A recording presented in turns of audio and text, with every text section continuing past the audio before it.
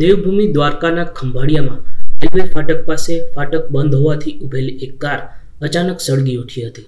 આસપાસ ઊભેલા વાહનોમાં સવાર લોકો પણ ભયભીત થઈ ગયા હતા.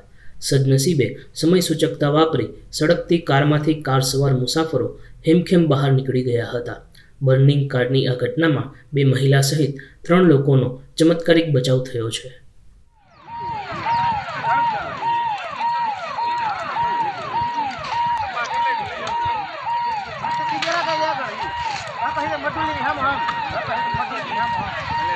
डॉक्टर जो ने